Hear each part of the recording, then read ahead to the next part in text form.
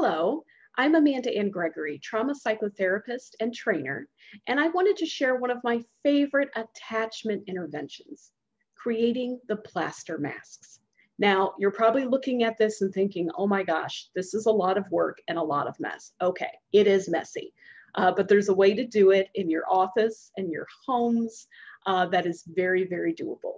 The materials are pretty simple, but you do need to order some gauze bandages. I found them online for about $16 for six rolls.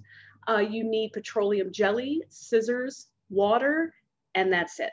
Now, the instructions can be a little bit chaotic, but trust me, it's worth it. Here's basically what you do. One of your clients is going to be putting the mask on another one of your clients. So this is something that you can do with families. This is something that you can do with couples as long as you have two clients.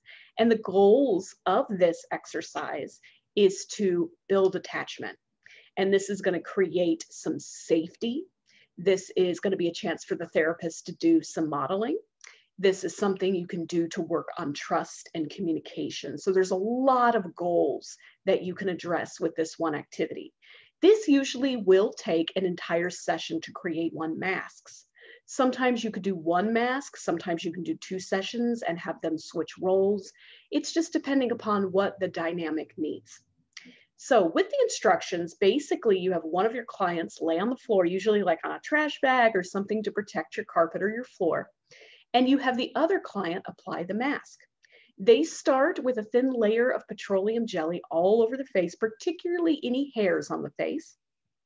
They cut the plastic bandages into strips. Now, usually I'm helping my clients do that. So I'm not sitting in a chair watching them doing this. I'm actually on the ground doing it with them. You dip these bandages in water and then you remove the excess water. So it's kind of like a this motion. You dip them in and with my fingers, I just remove the water. And then you will place the wet bandages on their face. And you do that in a way where you're slowly covering up the entire face. So if you see this boy here, He's starting with the mouth and he's kind of going over the cheek. We're going to put multiple layers on. And what I tell my clients is do don't do the eyes at all um, unless that is actually agreed upon. And then we will cover the eyes depending upon the comfort level. We never cover up the nostrils or as the kids say, the nose holes. We do cover up the mouth because this is a trust activity. Um, so you overlap the bandages and you avoid the hairline, the ears, the nostrils. You allow the mask to dry a little bit on the face. And what I like to do is fan it a bit. That can make it go a bit faster. The mask will not be completely dry. It just has to be dry enough that when you pull it up, it when you pull it off the face, it doesn't lose its shape.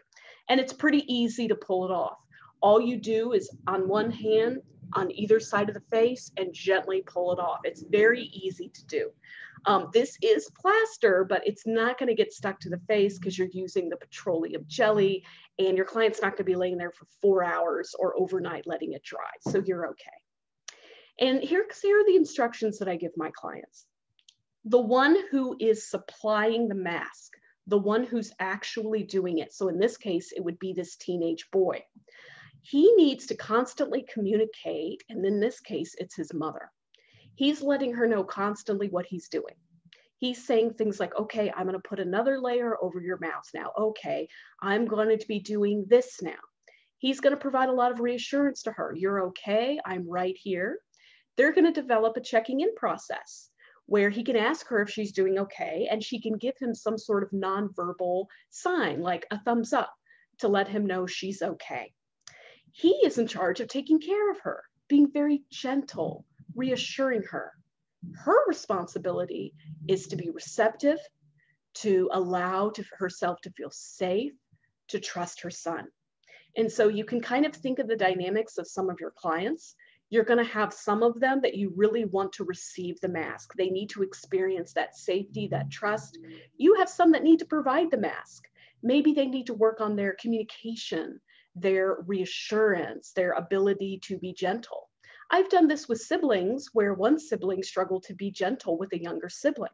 So we created this mask together, and this was a great way for them to learn that and to learn about those dynamics of being gentle and caring.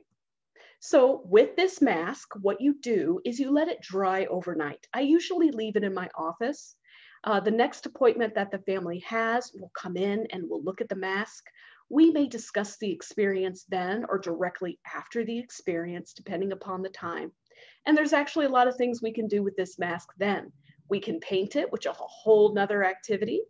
Um, or I usually like the family to take it home with them and put it in a place where they're home where it's remembered. If you're working with a couple, it would be in one of their homes or the home that they share as a symbol of something that they did together and their work together. So this is one of many experiential um, interventions that I have. If you're interested in any more, let me know.